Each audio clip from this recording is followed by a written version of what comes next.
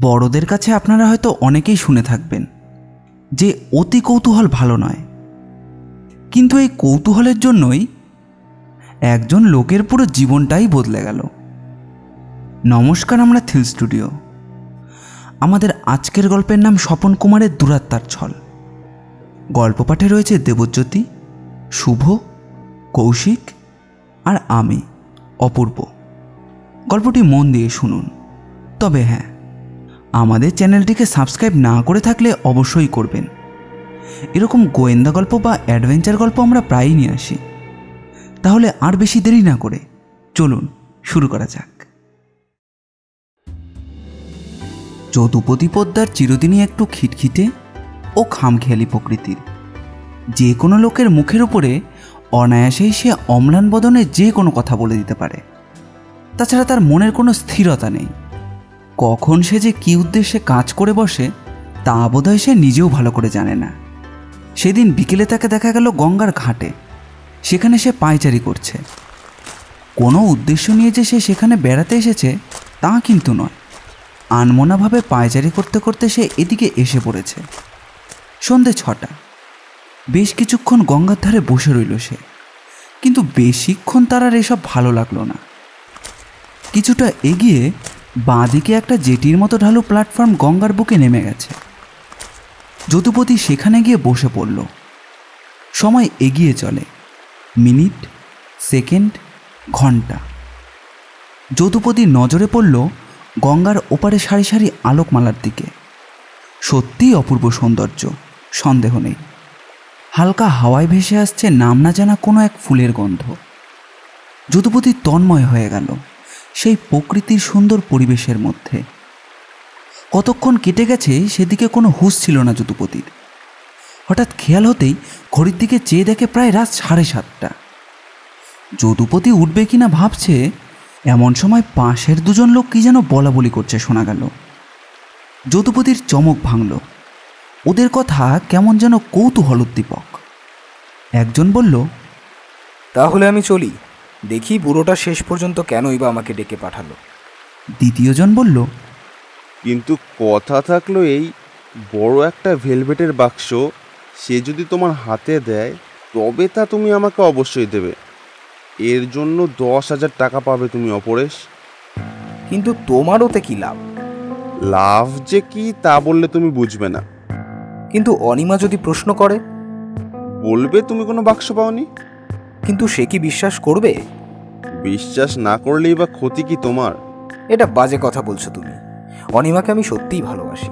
আর অনিমার বাবা যদি আমাকে বিশ্বাস করে বাক্সটা দেয় তাহলে তোমাকে দশ হাজার টাকায় তা বিক্রি করতে সত্যিই আমার আপত্তি নেই। কিন্তু অনিমা প্রশ্ন করলে আমি তো বিপদে পড়ব।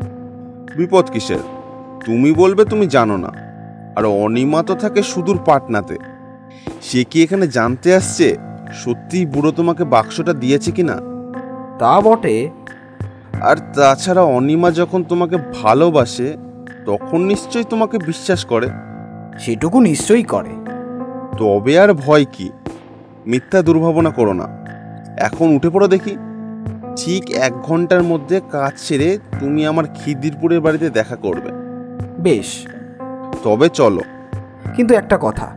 তুমি এত বড় লোক হয়েও হঠাৎ সামান্য একটা বাক্সের প্রতি এত প্রলুব্ধ হলে কেন?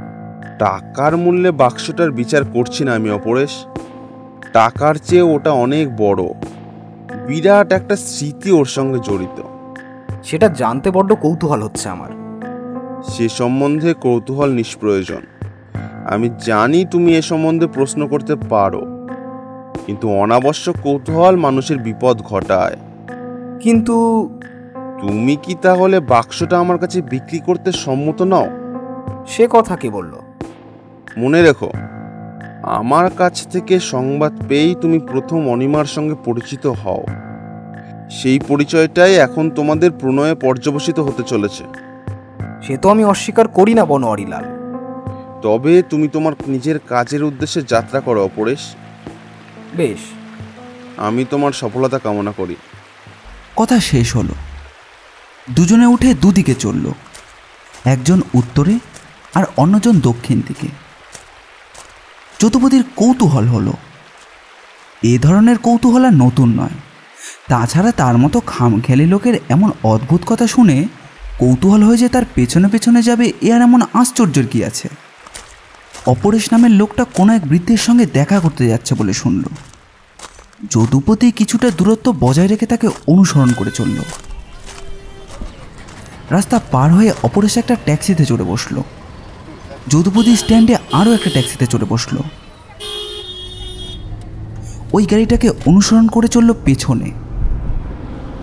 দুটি গাড়ি এগিয়ে চলল দ্রুত গতিতে দুজনের মধ্যেই নিরাপদ দূরত্ব। একটি বাড়ির সামনে অপরেশের মোটরটা এসে দাঁড়াল। তখন প্রায় নটার কাছাকাছি। নিচের তলায় একখানা আলো জ্বলছে।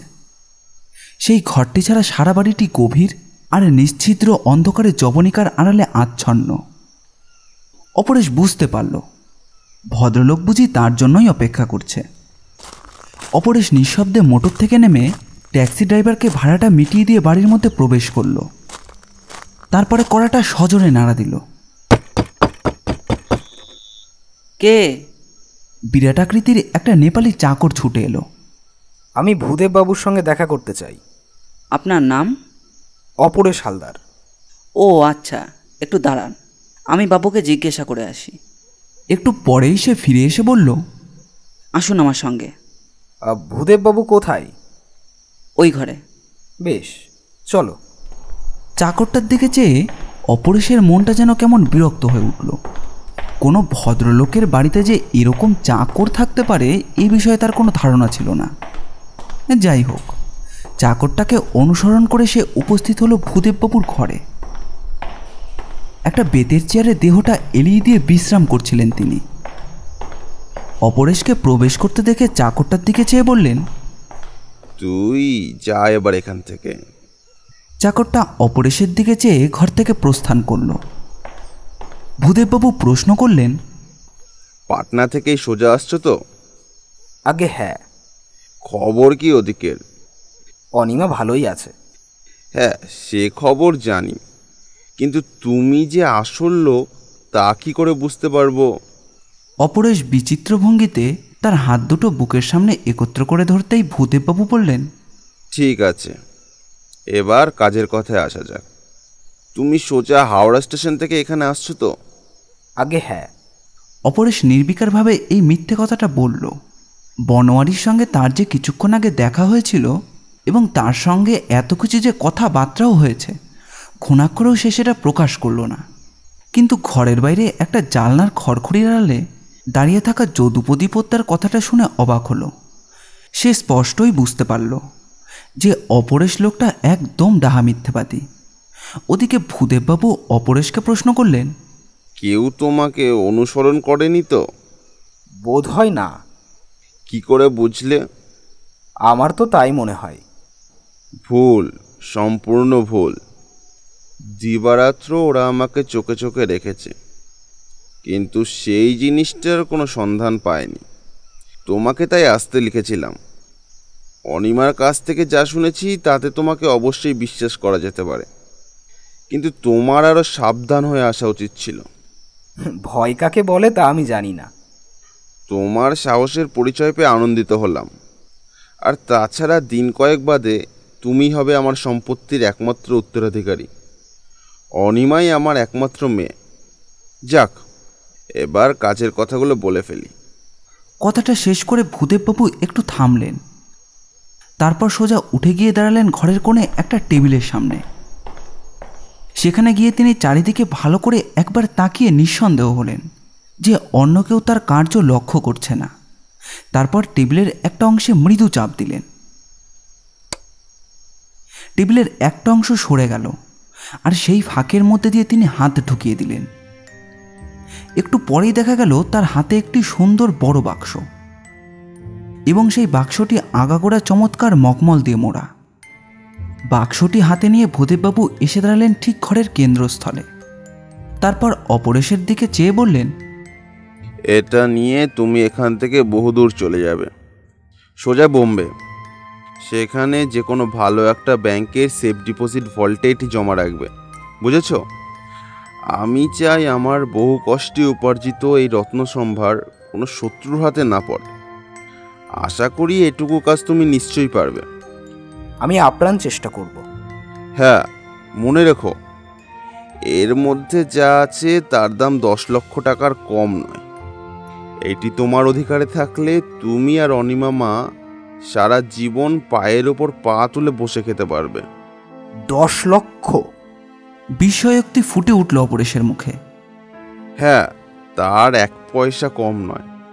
অপরেশের মনে পড়ল তার সঙ্গে বন্ধুত্ব স্থাপন করে বনোয়ারি এই বাক্সটা দশ হাজার টাকা দিয়ে কিনতে চেয়েছিল।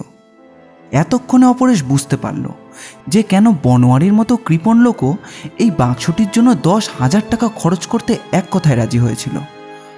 অপরেশ প্রশ্ন করল যে চাবিটা কোথায়?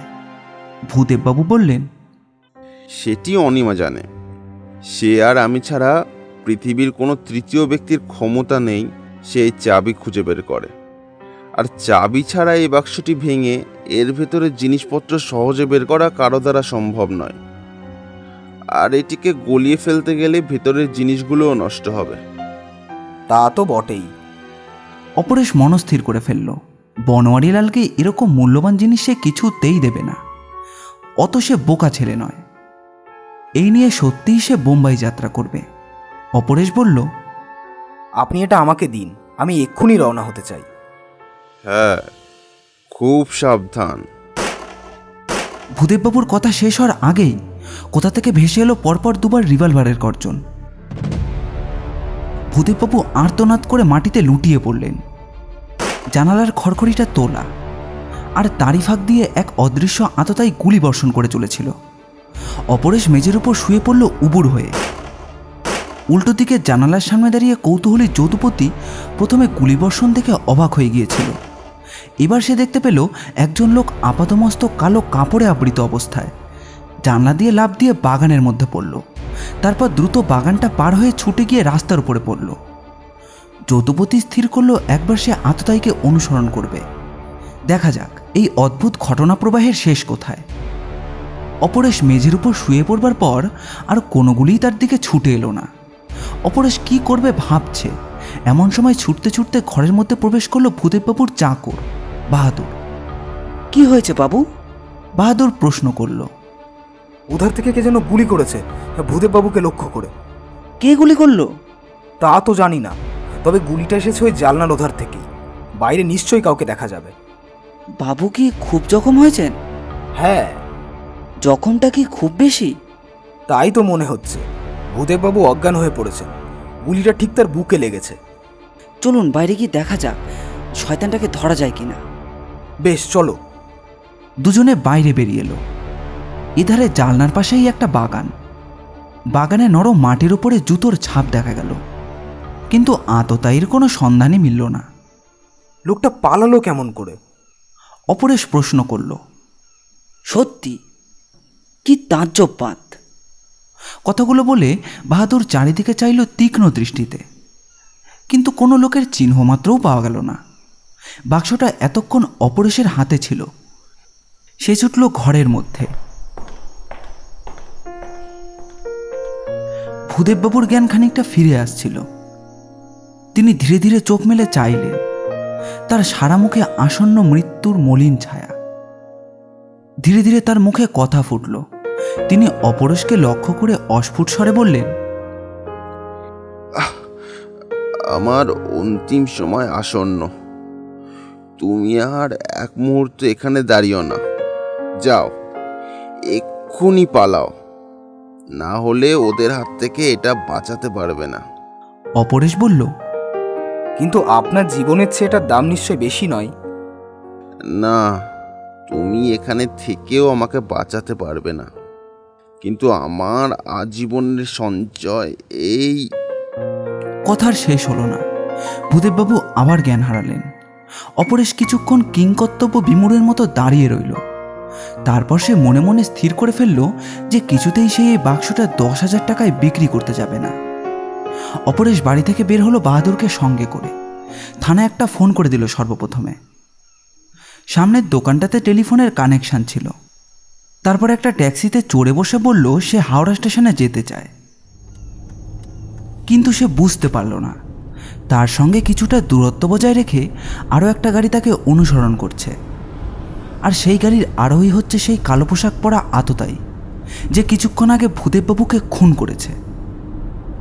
আর তারও পেছনে আরও একটা গাড়ি চলেছিল যদু পোদ্দারের সেও অবাক হয়ে তখন শুধু ভাবছিল, সামান্য একটি কৌতূহল কি অজস্র মারাত্মক ঘটনাচক্রের মধ্যে নিক্ষেপ করছে তাকে। হাওড়া স্টেশন। অসংখ্য লোক গিজগিজ করছে এখানে। কুলি, খাবারওয়ালা, পানওয়ালা, বইয়ের স্টল, যাত্রী, এরকম আরও কতজন?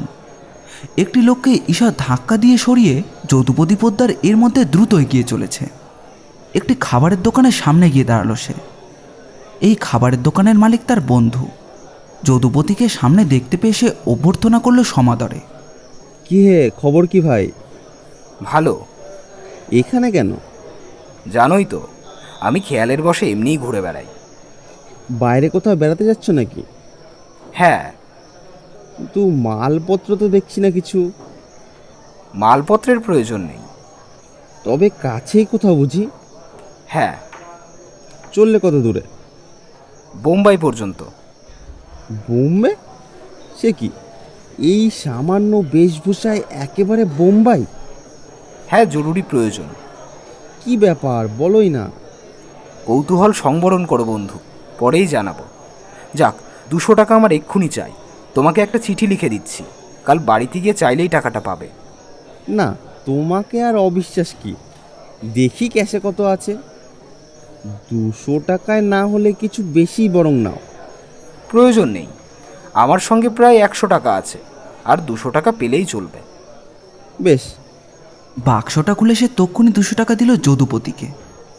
টাকাটা ভালো করে রেখে যদুপতি বলল যাক এখন বলো তো কাছাকাছি টেলিফোন কোথায় মিলবে? বুকিং অফিসে। হ্যাঁ বুকিং অফিসে গেলে পাওয়া যাবে বটে কিন্তু ব্যাপারটা কি বলো না? কোনো ভালো ডিটেকটিভের সঙ্গে তোমার পরিচয় আছে কি? কেন? প্রাইভেট ডিটেকটিভ ফাল্গুনিকে তো তুমি চেনো। ও হ্যাঁ মনে পড়েছে। চলো বুকিং অফিসের দিকে যাওয়া যাক। দুজনে বুকিং অফিসে গিয়ে উপস্থিত হলো। সেখানে গিয়ে ফোনের গাইডে প্রাইভেট ডিটেকটিভ ফাল্গুনি বসু নামটা দেখে নিয়ে রিসিভারে তুলল।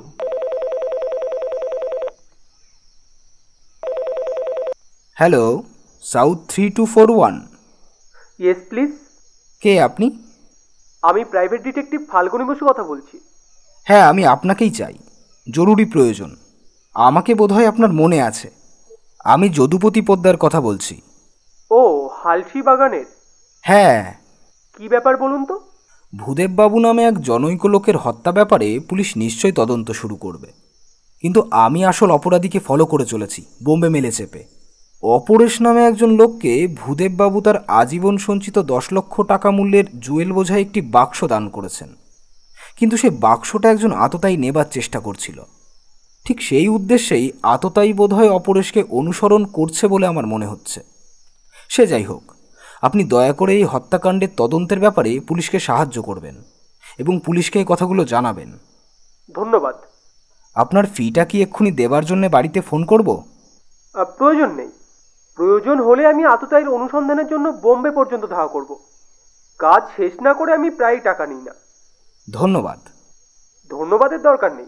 এটা আমার কর্তব্য। যাক গোটা কয়েক কথা আপনাকে জিজ্ঞাসা করবার বাকি আছে। হ্যাঁ বলুন। ভূদেব বাবুকে আপনি চেনেন? না। অপরেশ বাবুকে? না। আততায়ীকে আপনি চিনতে পেরেছেন? সে কালো পোশাকে সারা দেহটা ঢেকে রেখেছিল। আপনি কি করে ঘটনাচক্রে জড়িয়ে পড়লেন? একটা কৌতূহল আমাকে টেনে নিয়ে যায়। অপরেশ বাবুর কাছ থেকে বনোয়ারিলাল নামে একজন লোক দশ হাজার টাকায় বাক্সটা কিনতে চেয়েছিল।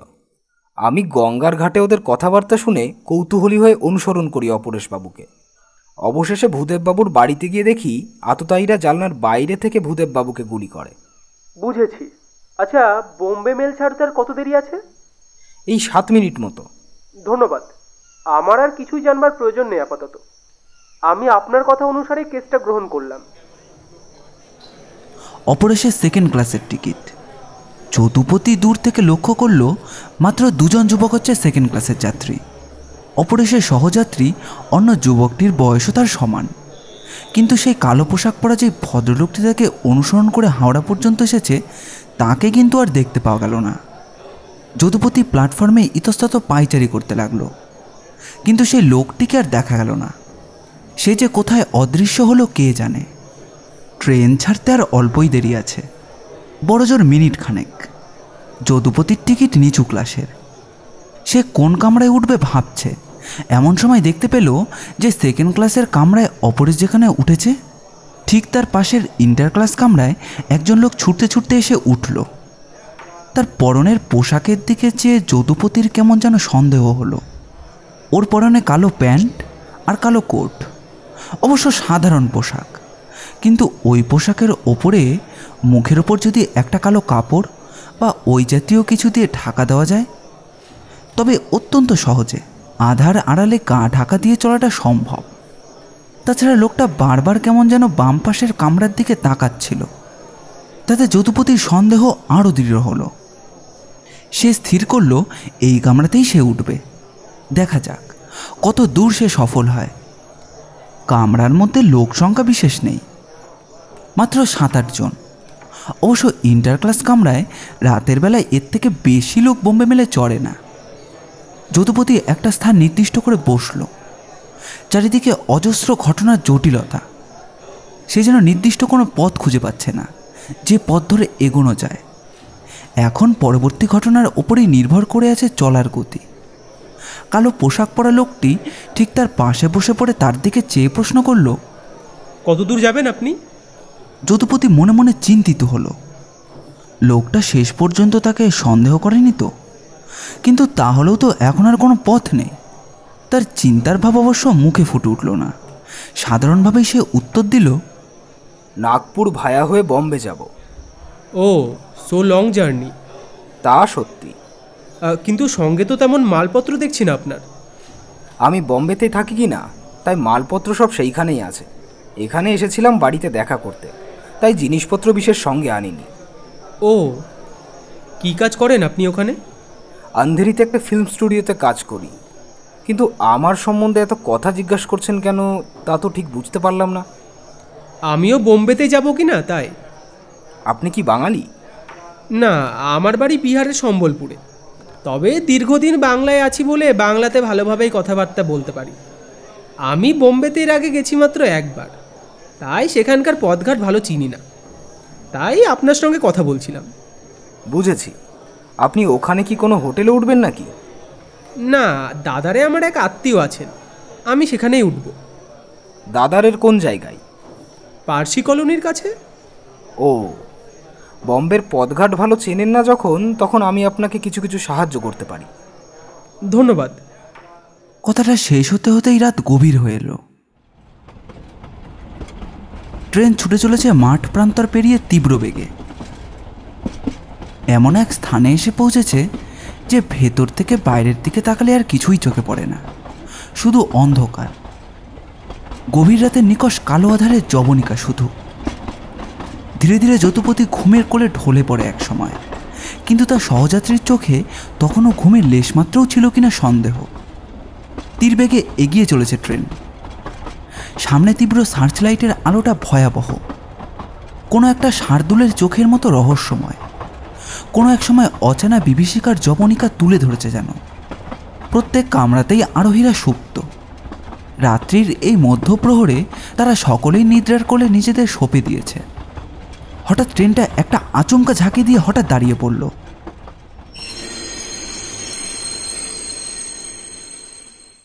কিন্তু ট্রেনখানা হঠাৎ এই জায়গাতে এমনভাবে দাঁড়িয়ে যে কেন পড়ল, তা কিন্তু কেউ বুঝতে পারল না। আরোহীদের সকলেরই গভীর নিদ্রা ভেঙে গেল। এভাবে আচমকা ট্রেনখানা থেমে যাওয়াতে বিস্মিত হলো সকলেই। প্রত্যেকে উঠে ভাবতে লাগল, নিশ্চয়ই কোনো একটা দুর্ঘটনা ঘটেছে। হঠাৎ দূর থেকে একটা শব্দ। ট্রেনের গার্ড এবং ড্রাইভার ছুটে এলো একখানা সেকেন্ড ক্লাসের কামরাকে লক্ষ্য করে। এই কামরা থেকেই চেন টানা হয়েছে, আর ঠিক সেই কামরাতেই শুয়েছিল অপরেশ। হঠাৎ গাড়ির প্রচণ্ড ঝাঁকুনিতে ঘুমটা ভেঙে গেল তার। ধর্মর করে উঠে দেখে একজন লোক তার সহযাত্রীর বুকের উপর রিভলভারটা ধরে প্রশ্ন করছে। এখনও বলুন বাক্সটা কোথায়? না হলে এখনই আপনার অন্তিম সময় খনি আসবে। অপরেশ বুঝতে পারল। তার ও সহযাত্রীর বয়স ও চেহারা প্রায় একই ধরনের হওয়ায় ভুল করে লোকটা সহযাত্রীকে আক্রমণ করেছে। অপরেশের সহযাত্রী উত্তর দিল কী সব অদ্ভুত কথা বলছেন আপনি? কোন বাক্সের কথাই বা বলছেন তা বুঝতে পারলাম না। আশা করি বারবার আপনার কাছ থেকে এরকম উত্তর শোনার জন্য আমি নিশ্চয়ই এত বড় বিপদ মাথায় নিয়ে আপনার এখানে আসিনি। সে কথা তো আপনার চেয়ে আমিই বুঝতে পারছি বেশি। কিন্তু না জানলে কি করে? চুপ করুন। আমার কথা শেষ। আপনি বাক্সর কথা আমাকে বলবেন কি না? এক কথা বারবার বলতে পছন্দ করি না আমি। আপনার যা ইচ্ছা করতে পারেন এবার। বেশ। অপ্রিয় কাজ তাহলে আমাকে এখন করতেই হচ্ছে। কথাটা শেষ হওয়ার আগেই বাইরে থেকে কয়েকটা কণ্ঠ একত্রে ধ্বনিত হয়ে উঠল। উত্তরের জবাব না পেয়ে দমাদম দরজার উপর লাথি লাগাতে লাগল গার্ড। অপরেশ এতক্ষণে এই সুযোগেরই অপেক্ষা করছিল। আততাই তার উল্টো দিকের বার্থের সামনে দাঁড়িয়ে আছে। সে চট করে উঠে দাঁড়িয়ে দরজাটা খুলে দিল। আগন্তুক ততক্ষণে নেমে পড়েছে গাড়ির উল্টো দিকের জানালা গলিয়ে। গাড়ির মধ্যে ততক্ষণে হুলস্থুল শুরু হয়ে গিয়েছে। কিন্তু অন্য কেউ আততায়ীকে অনুসরণ করতে সক্ষম না হলেও একজনের চোখে কিন্তু সে ধুলো দিতে পারেনি। আর সেই লোকটি হচ্ছে যদুপতি পোদ্দার যদুপতির ঘুম ভাঙতেই সে দেখতে পেল, তার পাশে সহিত বোম্বে যাত্রী সেই লোকটি আর নেই। কি আশ্চর্য! সে হঠাৎ এত অল্প সময়ের মধ্যে কোথায় অদৃশ্য হয়ে গেল? যদুপতি কিছুক্ষণ চিন্তা করল। তবে কি এই লোকটি আততায়ী তার ধারণা কি তবে সত্য? যদুপতি উঠে জানালা দিয়ে মুখ বাড়িয়ে দেখতে পেল, পাশে সেকেন্ড ক্লাস কম্পার্টমেন্ট থেকে একজন লোক লাফিয়ে পড়েছে। সারা দেহে তার কালো একটা পোশাকে আবৃত। হাতে রিভলভার গাড়ি থেকে লাফিয়ে পড়ে সে দ্রুত ওপাশের দুটো কম্পার্টমেন্ট পার হয়ে কোনার গাড়িতে গিয়ে উঠল। যদুপতি তার গাড়ি থেকে নেমে সেই গাড়িটার দিকে এগিয়ে গেল। লোকটি তখন তার মুখের আবরণ খুলে ফেলে। সাধারণ যাত্রীদের পাশে বসে একটা সিগারেট ধরিয়ে পরম আনন্দে ধূমপান করছে। যদুপতি কোনো কথা বলল না। নিঃশব্দে অনুসরণ করাই এক্ষেত্রে সুবিধাজনক উপায়। যদুপতি স্থির করল, সে যে সব কিছু জানতে পেরেছে, তা অন্য কাউকে বুঝতে না দিয়ে সে তার দিকেই তীক্ষ্ণ দৃষ্টি রাখবে।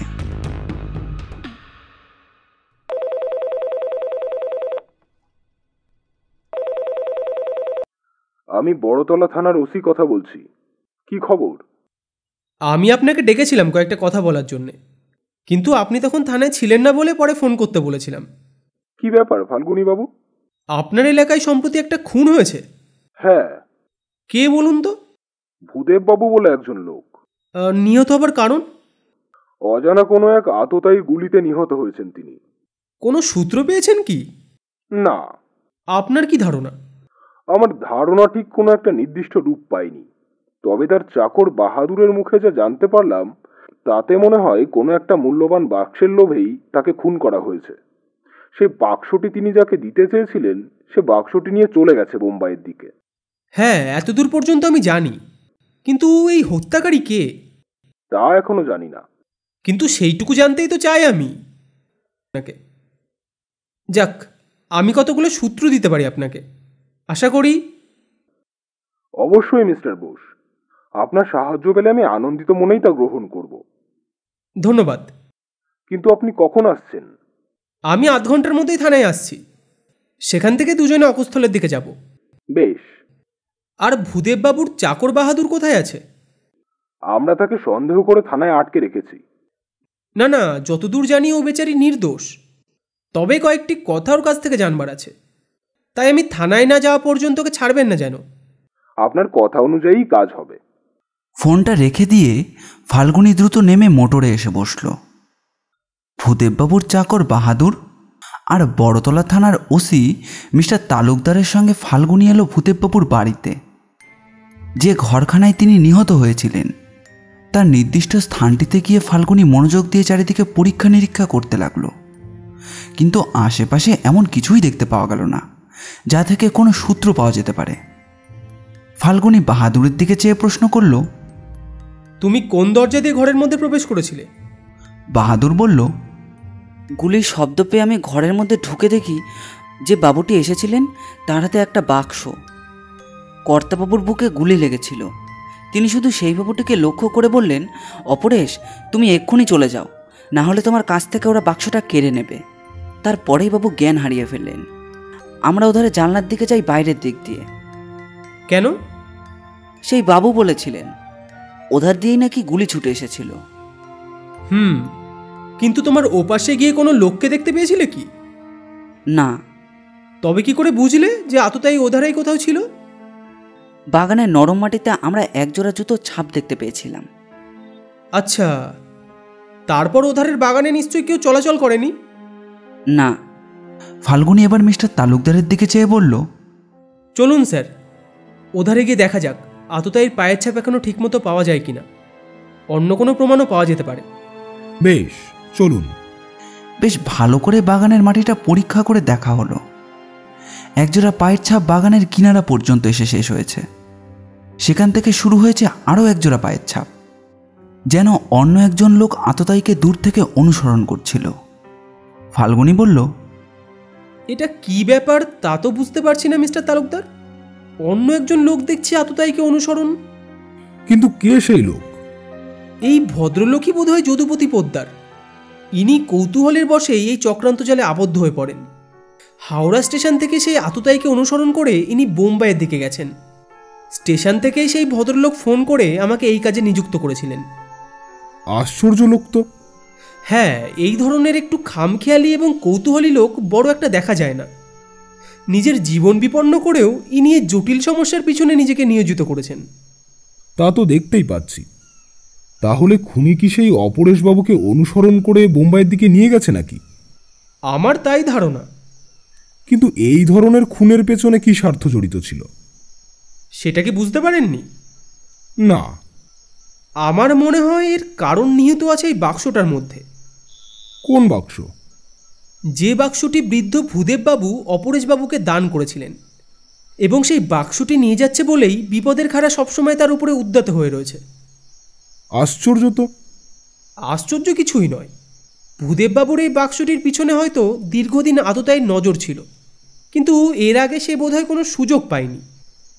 ভূদেববাবু বোধহয় নিজের বিপদের কথা জানতেন তাই সুযোগ বুঝে তিনি চুপি চুপি সেটি অপরশকে দিচ্ছিলেন যাতে সে ওটি বেশ ভালোভাবে রক্ষা করে। কিন্তু কেন? অপরেশ বাবুর সঙ্গে ভূদেব বাবুর কি সম্পর্ক? সেটা এখনও বুঝতে পারছি না। যাক চলুন এবার। জানালার চারিদিকটা বেশ ভালো করে দেখা যাক। জানালার খড়খড়ি তুলে ওই আততায়ীকে গুলি করতে হয়েছিল। তাই এখানে তার হাতের ছাপ অবশ্যই পাওয়া যাবে। তা বটে। ওধারে বেশ ভালো করে নিরীক্ষণ করা উচিত। মিস্টার তালুকদার এবার ছাপটির ফটো তুলে নেওয়ার ব্যবস্থা করুন। আমার মনে হয় কোনো পুরনো অপরাধীর হাতের ছাপের সঙ্গে এটা মিলতে পারে। তাই ছাপটি তুলে রেকর্ডিং ডিপার্টমেন্টে পাঠিয়ে দিন মিলিয়ে দেখবার জন্য। তাহলে আমাদের কাজ অনেকটা সহজসাধ্য হয়ে আসবে। তা তো বটেই। আপনার কি ধারণা আততাই বোম্বাইয়ের দিকে গেছে? হ্যাঁ ও ব্যাপারটা তদন্ত বেঙ্গল পুলিশের এলাকার মধ্যে শেষ হবে না। আমি শুধু হাতের ছাপ ইত্যাদি থেকে আততায়ীর পরিচয়টা জানতে চাইছি। তারপর আপনাদের ইন্ট্রোডাকশন নিয়ে আমাকে অবশ্যই বোম্বে যেতে হবে। কিন্তু এই হাতের ছাপ ছাড়া আরও একটা বিষয় আমার জানবার ছিল। আশা করি ভালোভাবে জেনে সেটাও আমাকে জানাবেন। কি ব্যাপার বলুন? ভূদেববাবুর প্রথম জীবনের যতটা ইতিহাস জানা যায় সেটা আমাকে জানাবেন। আর ওসব সম্পত্তির বর্তমান উত্তরাধিকারী কে কে সেটাও একবার জানা দরকার। বেশ সব দিক দিয়ে আপনাকে সাহায্য করব মিস্টার বোস। আমরা আপনার সফলতার কামনা করি।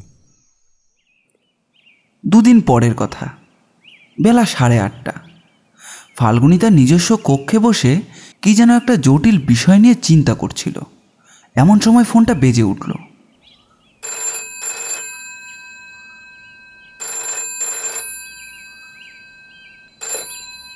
হ্যালো কে? মিস্টার তালুকদার কথা বলছি। ধন্যবাদ। কি খবর মিস্টার তালুকদার? অনেকগুলো জরুরি খবর আছে ফাল্গুনী বাবু বলুন। প্রথম খবর হচ্ছে হাতের ছাপের মালিকের সন্ধান পাওয়া গেছে। তাই নাকি? কে সে লোক? বহুদিন আগে সে একটা জটিল কেসের আসামি ছিল। লোকটা বোধহয় পাঞ্জাবি। তবে দীর্ঘদিন বাংলাদেশে থাকার জন্যে বেশ ভালোই বাংলা বলতে পারত। ওর নাম বিক্রম সিং থাপা। কিছুদিন আগে একটা খবর পাওয়া যায় যে সে একটা বিরাট ক্রিমিনাল দলের প্রধান নায়ক। সে কি? হ্যাঁ ওদের দলের নাম দিয়েছিল ওরা ক্রাইম ক্লাব। ওই আড্ডা থেকে নানান ধরনের আইন অমান্যকারী কাজকর্ম করা হতো বলে খবর পাওয়া গেল। এই খবরটা বোধহয় বহুদিন আগে শুনেছিলাম। হ্যাঁ প্রায় পাঁচ ছ বছর ধরেই দলটা চলছে। কিন্তু আজ পর্যন্ত ধরা পড়েনি কেউ? না। সে কি? ওদের সিক্রেসিটা খুব বেশি। এই গোপনীয়তা ভেদ করে পুলিশ ওদের গ্রেপ্তার করতে সফল হয়নি। বুঝেছি। আর একটা দরকারি খবর আছে। কি ব্যাপার মিস্টার তালুকদার? বছর ছয়েক আগে এই বিক্রম সিং থাপার সঙ্গে ভূদেব বাবুর যে গোপন সংস্পর্শ ছিল সে প্রমাণ পাওয়া গেছে। তাই নাকি? এরা দুজনেই তখন একই দলে কাজ করত। সো ইন্টারেস্টিং কিন্তু ভূদেব বাবু দলের সঙ্গে জড়িত থাকলেও তার বিরুদ্ধে কোনো প্রত্যক্ষ প্রমাণ পাওয়া যায়নি। আশ্চর্য! আমার মনে হয় এরা দুজনেই তখন দলের লিডার ছিল। এই বিক্রম সিং থাপা থাকতো সামনে আর ভূদেব বাবু কাজ করতেন পেছনে। কিন্তু সেবার ধরা পড়ে যায় বিক্রম সিং।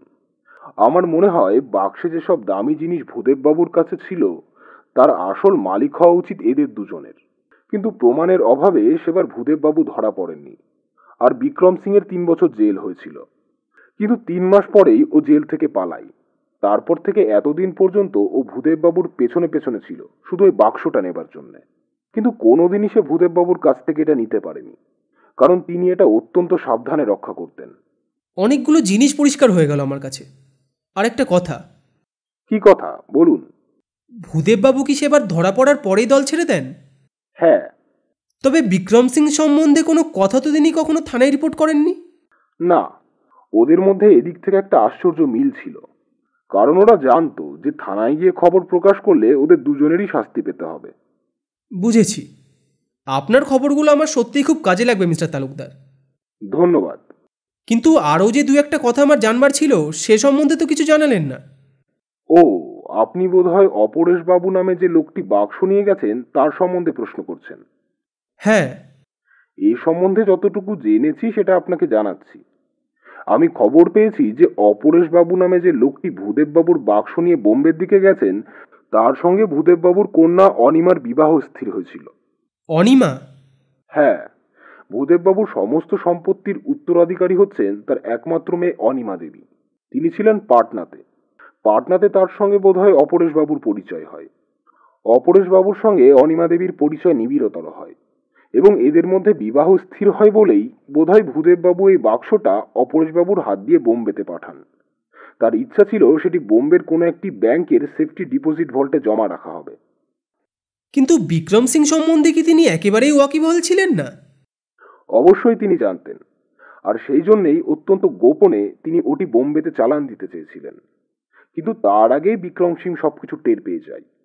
যে সময় তিনি বাক্সটা অপরেশবাবুর হাতে দেন সেই সময় সে বাইরে থেকে ভূদেববাবুকে গুলি করে। কিন্তু বাক্সটা নিতে সে সক্ষম হয়নি বলেই বোধহয় বোম্বে পর্যন্ত তাকে অনুসরণ করে চলেছে। কিন্তু অনিমা দেবী পাটনায় আছেন কিনা সে খবর জানেন কি? যতদূর খবর নিয়ে জানলাম তিনি চার পাঁচ দিন আগেই অপরেশবাবুকে কলকাতায় পাঠিয়ে নিজে বোম্বের দিকে চলে গেছেন। আর কোনো কথা না বলে ফাল্গুনি ফোনে রিসিভারটা নামিয়ে রাখে। এবং ভবিষ্যতের কার্যপদ্ধতি সম্পর্কে চিন্তা করতে লাগল। সন্ধ্যা হয়ে গেছে অনেকক্ষণ। রাত সাড়ে আটটার তো কম নয়। আধারের আড়ালে পৃথিবী মুখ লুকিয়েছে। বোম্বের দাদার অঞ্চলে ক্ষুদ্র একটি রাস্তার পাশে এই গুজরাটি হোটেলটি। একসময় দূরে দেখা গেল। একটা বেটে মতন লোক ধীর পায়ে হোটেলের দিকে এগিয়ে আসছে। আগন্তুক বেটে লোকটি ধীরে ধীরে হোটেলের মধ্যে প্রবেশ করল। হোটেলের সাধারণ খদ্দেররা একটা বড় হল ঘরে পানাহারে মত্ত ছিল। তার পাশে একটি ছোট ঘরে জুয়া খেলার বন্দোবস্তও ছিল। সেখান থেকে ভেসে আসছিল ঘন ঘন চিৎকার আর হট্টগোলের রেশ। আগন্তুক বেটে লোকটি ধীরে ধীরে হোটেলের মধ্যে প্রবেশ করে সামনেই একজন লোককে পেয়ে প্রশ্ন করল আমি মালিক শ্রী পট্টনলালের সঙ্গে দেখা করতে চাই। লোকটি ভিতরের দিকে প্রস্থান করল। একটু পরে মালিক শ্রী পট্টনলাল খোঁড়াতে খোঁড়াতে হোটেলের মধ্যে প্রবেশ করল। কি খবর স্যার? চিনতে পারো। আগে আপনি হুজুর চিনব না মানে? আপনি তো মহাজন ব্যক্তি। মনে আছে তাহলে? বনওয়ালিকে চেনে না এ শহরে কজন লোক আছে? তা ভালো। কিন্তু একটা জরুরি খবরের দরকার ছিল যে পট্টনলাল। এ, কি খবর বলুন? এ অঞ্চলের সব কিছুর খবরাখবর তোমার জানা আছে তো? হুজুর এই এলাকায় যা কিছু ঘটনা ঘটুক না কেন সেটা কিন্তু আমার নখদর্পণে। ভালো ভালো। তোমার নখদর্পণের জোর যে কতটা এক্ষুনি তা প্রমাণ হয়ে যাবে। কীভাবে হুজুর? একটা কথার উত্তর দাও দেখি। কি খবর টবর কিছু নাকি? হ্যাঁ হ্যাঁ দু পয়সা বকশিস মিলবে। বেশ জিজ্ঞাসা করুন। হুজুরের দয়াতেই তো খেয়ে পড়ে বেঁচে আছি। শোনো আমার এক দুষ্ট বন্ধু আমাকে ঠকিয়ে গা ঢাকা দিয়েছে। তার খোঁজ চাই। তার নামটা বাতলে দিন হুজুর। হুম লোকটা বাঙালি কুত্তা। অপরেশ তার নাম। দশ লাখ টাকার মাল নিয়ে বাংলা মুলুক ছেড়ে পাড়ি দিয়েছে বোম্বাইতে। ওহো হুজুরের সঙ্গে তাহলে শত্রুতা কি করে? বাজে বকো না তো। না না ঘাট মানছি। কিন্তু ব্যাপার কি? পাঁচশো মিলবে। শুধু লোকটার খবর চাই। আমার কাছে দশ হাজার টাকায় বিক্রি করবার জন্য রাজি হয়ে জিনিসগুলো নিয়ে সে এখন দিব্যি গা ঢাকা দিয়েছে। এখন উপায়? ওর খোঁজটা পেলেই একেবারে টুটি টিপে ধরবো। কিন্তু হুজুর এত বড় একটা কাণ্ড চট করে করে ফেলতে গেলে যদি আবার পুলিশ টুলিশ? সে ভাবনা তোমার নয় পট্টনলাল। বেশ তাহলে হুজুর আমার এখানেই থাকুন। একটা ঘর দিচ্ছি। খানদান বিশ্রাম করুন। তারপর খবরটা আমি জেনে আপনাকেই বলে দিচ্ছি। তোমার হোটেলেই থাকব পট্টনলাল। কোনো চিন্তা নেই তোমার। কিন্তু খবরটা আগে এই নাও অগ্রিম তিনশো। বাহ বাহ তোফা তাহলে শুনুন হুজুর। তিনি অর্থাৎ পরেশ নামের একজন বাঙালি লোক আর একটি মেয়ে এই হোটেলেই তেরো নম্বর ঘরে এসে আজ উঠেছেন। বলো কি? হ্যাঁ হুজুর। কিন্তু মেয়ে? হ্যাঁ হুজুর যুবতী নারী। তার নাম টাম কিছু জানো কি? হ্যাঁ হুজুর হোটেলের খাতায় নাম লেখা আছে অনিমা দেবী না কি একটা যেন। অনিমা? অনিমা এখানে? হ্যাঁ। কিন্তু অনিমা এখানে কেন? পাটনা থেকে তাহলে এর মধ্যে এসে পড়েছে দেখতে পাচ্ছি। কিন্তু তার এই হঠাৎ আগমনের কি উদ্দেশ্য? জানি না হুজুর তবে খবরটুকু পাকা। ধন্যবাদ। তোমার হোটেলেই থাকব আমি। এই নাও অগ্রিম দুশো টাকা। আজ থেকে একটা সিট রিজার্ভ করলাম আমি। হো হো করে হাসতে হাসতে পট্টনলাল খুঁড়িয়ে খুঁড়িয়ে এগিয়ে চলল হোটেলের সিটের ব্যবস্থা করতে। মিনিট দশেক পর পরপর কয়েকবার কড়াটায় জোরে জোরে ঝাঁকুনি দিল বলে মনে হলো। কে? আমি। গলাটা যেন পরিচিত। পট্টনলাল দরজা খুলল।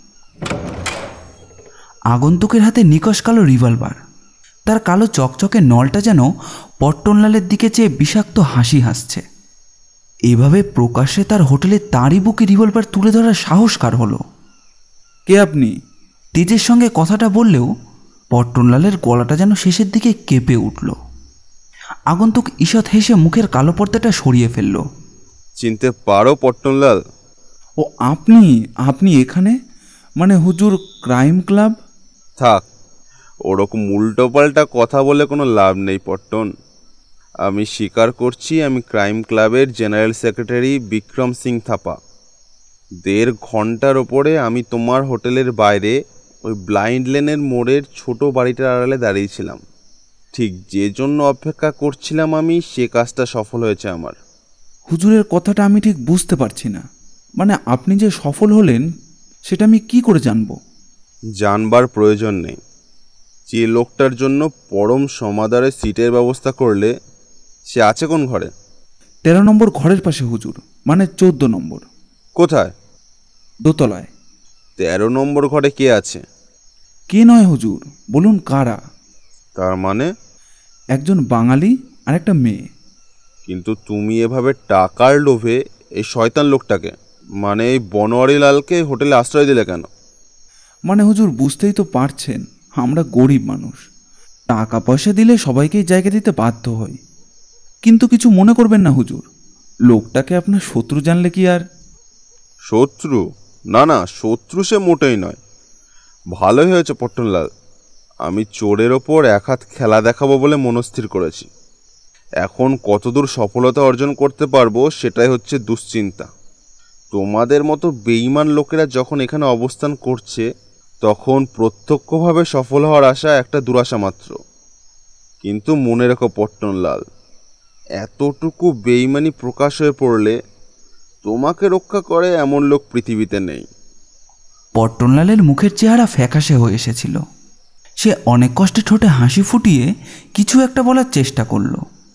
থামো তোমার বক্তৃতার প্রবাহ বন্ধ না হলে তোমার মুখ জোর করে বন্ধ করতে বাধ্য হব আমি। শয়তানিরও একটা সীমা আছে পট্টনলাল। যাক আমি চললাম দোতলায়। দেখি ওধারে তোমার দোস্ত বনোয়ারিলাল এতক্ষণে কতদূর কি করল। কোনোদিনই সে আমার দোস্ত নয় হুজুর।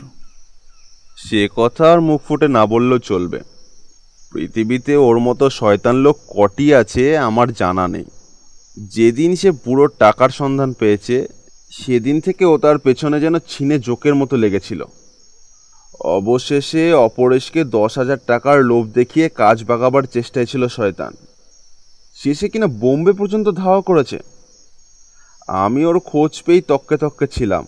এবার দেখি, ওরই একদিন কি আমারই একদিন। রিভলভারটা পকেটে ফেলে বিক্রম সিং ঘর থেকে বেরিয়ে যায়।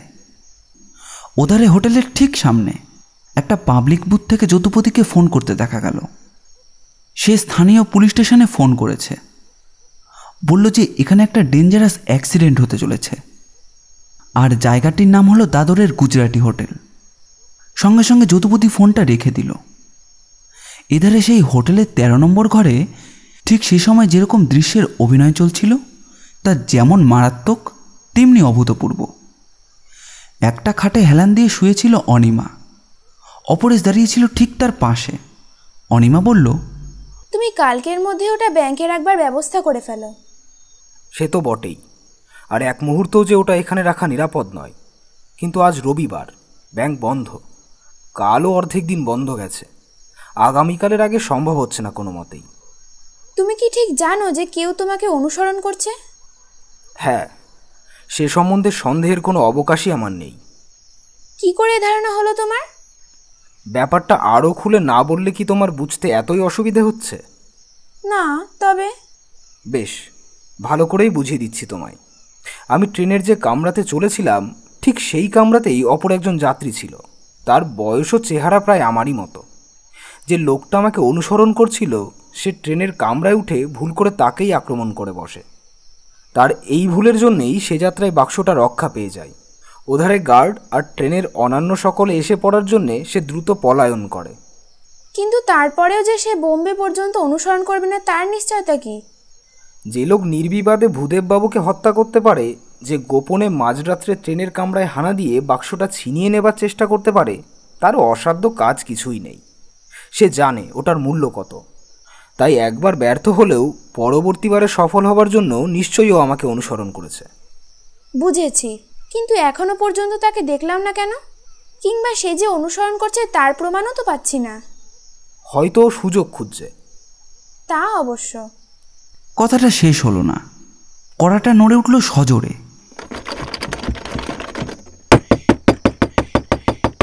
কে? একটু জরুরি প্রয়োজনে দেখা করতে চাই। দরজাটা খুলুন দয়া করে।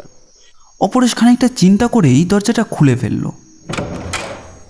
কিন্তু খুলে ফেলতেই যাকে সে সামনে দেখতে পেল তাকে সে এখানে দেখবার জন্য একেবারেই প্রস্তুত ছিল না। তুমি? ভূত দেখার মতো চমকে উঠল অপরেশ। হ্যাঁ আমি আমি বনোয়ারি লাল। কিন্তু কি প্রয়োজনে তোমার এখানে আগমন তা কি জানতে পারি? সেটা অবশ্য তোমার অজানা নয় অপরেশ। অজানা না থাকলেও খুব বেশি জানি বলেও মনে হচ্ছে না। বেশ সোজা কথাতেই আসা যাক। কি বলো বন্ধু? আমি চাই সেই বাক্সটা যেটা তুমি আমার কাছে দশ হাজার টাকায় বিক্রি করবে বলে প্রতিশ্রুতি দিয়েছিলে। প্রতিশ্রুতি দিইনি। দেব কিনা চিন্তা করবার অবকাশ নিয়েছিলাম মাত্র। কিন্তু এখন ভেবে দেখছি ওটা দেওয়া সম্ভব হবে না আমার পক্ষে। কেন? আমি মনস্থির করেই কথা বলছি। কিন্তু তুমি ওটা আমার কাছে দেবে এই শর্তেই ওটার সম্বন্ধে সব কিছু খোঁজ খবর দিয়েছিলাম। কথা বাড়িয়ে লাভ নেই বন্ধু। এখন ওটা আমার সম্পত্তি। আমি না দেওয়া পর্যন্ত তোমার ওটা পাবার নিশ্চয়ই কোনো অধিকার নেই। কাজেই তুমি নিশ্চিন্তে পথ দেখতে পারো। কিন্তু তোমার দ্রুততার সীমারেখা আমার জ্ঞানের মধ্যে এসে গেছে। কাজেই ওসব বাজে কথা বলে আমাকে ভুলিয়ে দেবার চেষ্টা করো না। ওটা দেবে না তাহলে? না। এই তোমার শেষ কথা? হ্যাঁ this is my final word কথার সঙ্গে সঙ্গেই বনোয়ারি যেন স্প্রিংয়ের মতো লাফিয়ে উঠল মেঝের ওপর। আর সঙ্গে সঙ্গে জোড়াপায়ের যে লাথিটা অপরেশের পেটের উপর পড়ল সেটা সহ্য করা যে কোনো সাধারণ মানুষের সাধ্যাতীত। অপরেশ মেজের কোণে ছিটকে পড়তেই বনোয়ারি জামার ভেতর থেকে একটা ধারালো ছোড়া বের করে তার দিকে এগিয়ে গেল।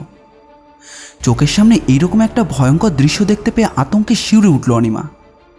তার কণ্ঠ ভেদ করে একটা আর্ত চিৎকার বাতাসে ছড়িয়ে পড়ল। ওধারে বনোয়ারি ধারালো ছোড়াটা হাতে নিয়ে এসে অপরেশের বুকের উপর বসে পড়ল। তারপর অপরেশের বুকে ছড়াটা বসিয়ে দেওয়ার জন্য যেই না হাতটা তুলেছে, এমন সময় প্রচণ্ড একটা শব্দ পেয়ে চমকে উঠল অনিমা। কোথা থেকে যেন আচমকা একটা পিস্তলের গুলি এসে লাগল বনওয়ালির হাতে। হাত থেকে ছোড়াটা ছিটকে পড়ল তার। হাতটা চেপে ধরে ছুটতে ছুটতে ঘর থেকে বেরিয়ে গেল সে। অপরেশের জ্ঞান তখনও সম্পূর্ণ ফিরে আসেনি। অনিমা দ্রুত ঘর থেকে বেরিয়ে যায়। তার চোখের সামনে ভেসে উঠল একটা অদ্ভুত মূর্তি। দ্রুত করিডর পার হয়ে সিঁড়ি থেকে নেমে যাচ্ছে সে। হোটেলের ঠিক সামনেই পুলিশের একটা ভ্যান এসে থামল। তদন্তের সূত্রগুলো একত্র করে প্রথমেই যেই ঘটনাটা ফাল্গুনির মাথায় এসে বাঁধল, তা হচ্ছে এই রহস্যের কেন্দ্রস্থল হচ্ছে বোম্বে শহর। তাই খুনিকে গ্রেপ্তার করতে হলে অথবা সফলতার পথে অগ্রসর হতে হলে তাকে অবশ্যই বোম্বের পথে পাড়ি দিতে হবে। কিন্তু ওধারে ঘটনার গতি এত দূর বোধহয় অনেক দূর এগিয়ে গেছে। চিন্তিত হয়ে পড়ল ফাল্গুনি। তাকে এগিয়ে যেতে হবে অত্যন্ত অল্প সময়ের মধ্যে। যদুপতি পোদ্দার নামে যে লোকটা তাকে ফোন করে খবরগুলো জানিয়েছিল, তাকে পেলে সেখানে সুবিধে হবে তার। কিন্তু তা না হলে একটা বিচিত্র জটিল পরিস্থিতির মধ্যে গিয়ে পড়বে সে। তখন আর কোনো উপায়ই থাকবে না ব্যাপারটার মীমাংসা করবার। কিন্তু অত্যন্ত অল্প সময়ের মধ্যে সেখানে গিয়ে উপস্থিত হওয়ার মতো তো কোনো উপায় নেই তার সামনে। তবে? হ্যাঁ ফাল্গুনির মনে পড়ল। তার সামনে একটা উপায় এখনও খোলা আছে। আর তা হচ্ছে প্লেনে চড়ে বোম্বের পথে পাড়ি দেওয়া। মাত্র কয়েক ঘণ্টার মধ্যেই সে বোম্বে গিয়ে পৌঁছতে পারে বটে কিন্তু সেখানে প্রত্যেকটি থানার খবর নিয়ে কত দূরই বা এগোনো যাবে? আর যতটা হয় তাকে তা করতেই হবে। ফাল্গুনি চাকরটাকে ডেকে হুকুম দিল। এক্ষুনি বিছানাপত্র যা আছে সব গুছিয়ে ফেলো একটা হোল্ডোলার সুটকেসে। আর কিছুর প্রয়োজন নেই আমাকে আজই বোম্বে যেতে হবে। বোম্বে? হ্যাঁ হ্যাঁ সেখানে আজ বিকেলের মধ্যেই পৌঁছতে হবে আমাকে। আজ রাতে সেখানে কোন দৃশ্যের অভিনয় হবে তা ভেবে আমি ভয়ে আটকে উঠছি। কিন্তু এখন তো বেলা নটা। সন্ধ্যার মধ্যে কি করে বোম্বে পৌঁছবেন হুজুর? সে ভাবনা তোর নয়। আমাকে প্লেনে যেতে হবে। এখনই ব্যাংকে যাচ্ছি টাকা তুলতে। সেখান থেকে সোজা দমদম এরোড্রোমে যাব। সেখানকার মিস্টার মরিস আমার বন্ধু। যা করে হোক ব্যবস্থা হবেই। তুই সোজা জিনিসপত্র নিয়ে দমদম চলে যাবি ট্যাক্সি করে। আমার জন্য অপেক্ষা করবি সেখানে। আচ্ছা হুজুর। কথা না বলে ফাল্গুনি সোজা ঘর থেকে বেরিয়ে যায়। আলোকোজ্জ্বল বোম্বে শহর, যেন সাজানো একটা ছোট্ট কবিতা। অপূর্ব সৌন্দর্যে মণ্ডিত। মাত্র আধ ঘণ্টা আগেই সে এখানে এসে পৌঁছেছে। সে ঠিক করল দাদরে তার এক বন্ধুর বাড়িতে গিয়ে উঠবে। মেলাডেও তার অবশ্য একটা দূর সম্পর্কে আত্মীয় থাকেন, কিন্তু দীর্ঘদিন তার কোনো খোঁজ খবর ফাল্গুনি জানা ছিল না। আর তিনি সেখানে আছেন কিনা তাই বাকে জানে? একখানা বেবি ট্যাক্সিতে চেপে ফাল্গুনি বলল চালাও দাদার। ঘণ্টাখানেকের কিছু বেশি সময় লাগল দাদরে পৌঁছতে। সমস্ত জিনিসপত্র বন্ধুর বাড়িতে রেখে স্বল্প কথায় সব কিছু আলাপ আলোচনা শেষ করে ফাল্গুনি আবার গাড়িতে উঠে বসল। থানার দিকে চালাও। তার ইচ্ছে ছিল নিজের পরিচয় দিয়ে স্থানীয় থানার সাহায্য চাইবে। তারপরে প্রত্যেক থানায় গিয়ে খোঁজ নিয়ে জানবে যে যদুপতি পোদ্দার বা অপরেশের কোনো খোঁজ পাওয়া যায় কিনা। থানার অফিসার তার সঙ্গে পরিচিত হয়ে আনন্দিতই হলেন। তার নাম মিস্টার দীনদয়াল সিং, জাতিতে পাঞ্জাবি, কাজে অফুরন্ত উৎসাহ। ফাল্গুনির কাছ থেকে সমস্তটা শুনে তিনি বললেন হ্যাঁ মাত্র আধ ঘণ্টা আগে যদুপতি পোদ্দার নামে একজন লোক আমাকে ফোন করেছিল বটে। কিন্তু আমি তার সেই ফোনকে অতটা গ্রাহ্য করিনি। তবে একবার পেট্রোলে সেদিকে একবার যাব, এটা অবশ্য স্থির করে ফেলেছি। তার কথা শুনে চমকে ফাল্গুনি বলল বলেন কি স্যার এর পেছনে একটা সাংঘাতিক ষড়যন্ত্র লুকিয়ে আছে। চলুন এক্ষুনি আমরা সেই দিকে যাই। এতক্ষণ যে কি ব্যাপার ঘটে গেছে তা জানা নেই আমার। সত্যি ব্যাপারটা বহুদূর গড়িয়েছে। কি ব্যাপার স্যার? ফাল্গুনি তখন সমস্ত ঘটনাটা ধীরে ধীরে খুলে বলল তার কাছে। শুনে তিনি বললেন সো স্ট্রেঞ্জ তিনি তক্ষুনি চারজন আর্মড পুলিশকে নিয়ে বেরিয়ে পড়লেন। থানায় টেলিফোন করেও যতুপতি নিশ্চিন্ত হতে পারল না। ঘটনার আকস্মিক পরিবর্তন ও দ্রুতগতি তাকে বিস্মিত করেছে। কে যে কোন দলে আর কে যে কোন উদ্দেশ্য নিয়ে এগোচ্ছে, সেই জটিল জাল ভেদ করতেই যেন তার অসম্ভব বলে মনে হচ্ছিল। হোটেলের উপর দৃষ্টি রাখবে বলেই সে স্থির করল। কিন্তু হোটেলে বিক্রম সিংয়েরা দেখা পাওয়া গেল না। অপরেশ আর অনিমার সঙ্গে দেখা করলে কেমন হয়? ওদের ঘরের দিকে এগিয়ে যাচ্ছিল চতুপতি বাধা দিল একজন ওয়েটার কাকে চান? অপরেশ বাবুকে। কি প্রয়োজন? জরুরি। আগে তাকে খবর দিয়ে আসি। আমার প্রয়োজন অত্যন্ত জরুরি। অতক্ষণ দাঁড়িয়ে থাকতে পারব না।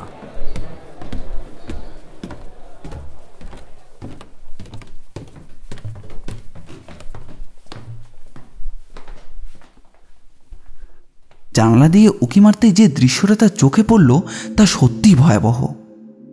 কলকাতায় যেই লোকটা দশ হাজার টাকা দিয়ে অপরেশের কাছ থেকে একটা বাক্স কিনতে চেয়েছিল, সেই লোকটা ধারালো ছোড়া বের করে অপরেশের বুকের উপর বসে তাকে খুন করতে উদ্যত। আতঙ্কে শিউরে উঠে অনিমা ঘরের এক কোণে দাঁড়িয়ে। অন্য কোনো উপায় না পেয়ে যদুপতি শেষ সম্বল রিভলভারটা তুলে আততায়ীর হাত লক্ষ্য করে গুলি ছুড়ল। এ ঘটনার বর্ণনা আগেই দেওয়া হয়েছে। বনোয়ারি তক্ষুনি এক লাফে অপরেশকে ছেড়ে দিয়ে দরজা খুলে সিঁড়ির দিকে দৌড় দিল। আর তক্ষুনি তাকে অনুসরণ করল অনিমা। যদুপতি হতমম্ব হয়ে গিয়েছিল। শুধুমাত্র বিক্রম সিং থপার অস্তিত্বই সে জানত। কিন্তু কলকাতায় বনোয়ারিও যে তার পিছু পিছু আসবে, সে সম্পর্কে তার কোনো ধারণাই ছিল না। এখন এই ত্রিমূর্তি সংগ্রামে জয়ী হবে কে তা ভগবানই জানেন। হঠাৎ বাইরে গাড়ির শব্দ শোনা গেল। ভারী বুটের শব্দ এগিয়ে এলো হোটেলের দিকে। বোধহয় পুলিশ এসেছে। যদুপতি একটু নিশ্চিন্ত হলো। যাক, এবার ভয়ের আর কিছু নেই। কিন্তু ও কি? রাস্তার পাইপ বেয়ে একজন লোক জানলার উপরে উঠে এসেছিল। দোতলার জানলায় কোনো গড়াদ নেই। লোকটা লাফিয়ে ঘরের মধ্যে গিয়ে পড়ল। আপাতমস্তক ওয়াটার প্রুফে আবৃত। এই নিশ্চয়ই সেই বিক্রম সিং থাপা। কিন্তু ও একা কেন? সঙ্গে তো আর কাউকেই দেখা যাচ্ছে না। বোধহয় একাই সমস্ত জিনিসটা আত্মসাৎ করতে চায়। ঘরের মধ্যে লাফিয়ে পড়তেই অপরিণ চমকে চাইল তার দিকে। কিন্তু তার আর কিছু করবার ছিল না। বিক্রম সিংয়ের হাতের চকচকে কালো অটোমেটিকটা তার মুখ বন্ধ করে রাখল। বাক্সটা কই? বিক্রম সিংয়ের কণ্ঠ সিংহেরই মতো গর্জন করল। জানি না। অপরেশ যেন দৃঢ় প্রতিজ্ঞ। প্রয়োজন নেই। আমি আগেই জানি কোথায় আছে। বিক্রম সিং নির্ভীক পদক্ষেপে এগিয়ে যায় টেবিলটার দিকে। তারপর ডয়ারটাতে টান দেয় সজোরে। আনন্দে তার চোখ দুটো চকচক করে ওঠে। টেবিলের ডয়ারে সেই দামি বাক্সটা। নিমেষের মধ্যে সেটা হাতে তুলে নেয় সে। তারপর জানলার দিকে এগিয়ে যায়। বোধহয় জানলার পাইপ বেয়ে নিচে নেমে যাওয়ার সংকল্প করছে সে।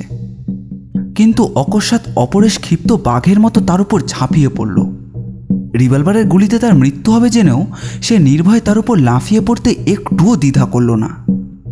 এত বড় একটা মূল্যবান বস্তু তার হাতছাড়া হয়ে যাবে এই চিন্তাই যেন তার পক্ষে অসহ্য বলে মনে হয়। মারামারি, ধস্তাধস্তি আর হুল্লোড়। অপরেশের শক্তি কম হলেও প্রাণপণে সে বিক্রম সিংয়ের হাতটা বেঁকিয়ে ধরে, যাতে রিভলভারের গুলি তার গায়ে না লাগে। কিন্তু বেশিক্ষণ সেই দীর্ঘদেহ পেশিবহুল ও বলবান বিক্রম সিংয়ের সঙ্গে সে এটে উঠতে পারে না। এক ধাক্কায় তাকে ছিটকে ফেলে বিক্রম সিং পিস্তলের বাঁট দিয়ে তার মাথার উপর একবারই মারল। অপরেশের কপাল ফেটে ঝরঝর করে রক্ত ঝরতে থাকে। মুহূর্তের মধ্যে জ্ঞান হারিয়ে মেঝের উপর লুটিয়ে পড়ে সে। বিক্রম সিং ছুটে যায় জালনার দিকে। তারপর পাইপ বেয়ে দ্রুত নিচে নামতে থাকে। যদুপতি ভাবে যে এখন গুলি করা ঠিক হবে কিনা। কিন্তু কোনো প্রয়োজন নেই। সিঁড়িতে শোনা যাচ্ছে ভারী বুটের শব্দ। নিশ্চয়ই পুলিশ বাহিনী এই ঘরের দিকেই এগিয়ে আসছে। ওধারে বিক্রম সিং পাইপ বেয়ে প্রায় নিচের দিকে নেমে এসেছে। পুলিশ বাহিনী এসে পৌঁছবার আগে যদি সে পলায়ন করে, তার আগে তাকে অবশ্যই বাধা দিতে হবে। পাইপ বেয়ে দ্রুত নামতে থাকে যতুপতি। এই কাজে যে সে বিশেষ অভিজ্ঞ নয়, সেটা তার কাজ দেখলেই বোঝা যায়। কিন্তু উত্তেজনা তার অনভিজ্ঞতার বাধা দূর করে। নিঃশব্দে যতুপতি নিচে নেমে যায়। কিন্তু বিক্রম সিংকে সে বাধা দেয় না। এখন বাধা দেওয়া তার পক্ষে সম্ভব নয়। সারা হোটেল পুলিশে ঘিরে ফেলেছে। যে কোনো মুহূর্তেই তারা তাকে ধরে ফেলতে পারে। আর তক্ষণে মোটরে উঠে পলায়ন করতে হবে তাকে। হোটেল থেকে গজবিশেক দূরে মোটর অপেক্ষা করছিল। বিক্রম সিংয়ের মোটর। বিক্রম সিং ছুটে গেল মোটরটার দিকে। হতবম্ব হয়ে যদুপতি কি করবে ভাবছে, এমন সময় মোটরটা স্টার্ট দেওয়ার জন্য হাতল ঘোরালো বিক্রম সিং। ইঞ্জিনের ঘস ঘস শব্দ। শোনা গেল পুলিশ বাহিনী পায়ের শব্দ। তারা যেন এই দিকেই ছুটে আসছে। সারা জীবন অনেক অদ্ভুত ঘটনার সম্মুখীন হতে হয়েছে অনিমাকে। কিন্তু এই ধরনের ব্যাপার বোধহয় তার জীবনে এই প্রথম।